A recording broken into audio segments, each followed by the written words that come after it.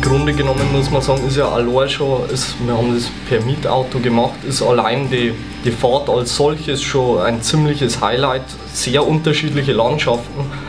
In der Hinsicht faszinierend war vor allem, dass sie innerhalb weniger Kilometer, innerhalb von 10 Kilometer die Landschaft wieder komplett verändert hat. Also zum Teil meint man wirklich, man ist wieder auf einem ganz anderen Planeten. Der Gletschersee mit den riesen Eisblöcken, das ist auch eine fantastische Sache. Und auch das Timo Burger. Timo Borgir Gebiet, ja. Ja, das ist auch phänomenal. Also man meint wirklich, man ist auf dem Mond oder auf einem anderen Planeten.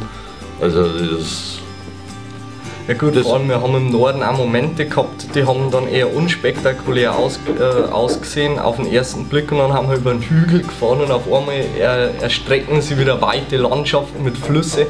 Wir in Deutschland sind es ja auch nicht gewohnt, dass Flüsse so, so unreguliert äh, durchs Land ziehen, weil bei uns sind die ja immer begradigt und begrenzt und alles ordnungsgemäß.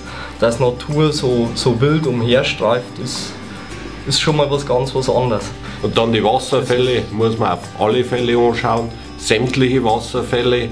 Der, Und man sollte bei dem Wasserfall mit der Kaskade, wo man hinten reingehen kann, am besten, da haben noch ein paar andere kleinere Wasserfälle angeschrieben. Links geht, da gibt es einen, der ist in einer Höhle drin.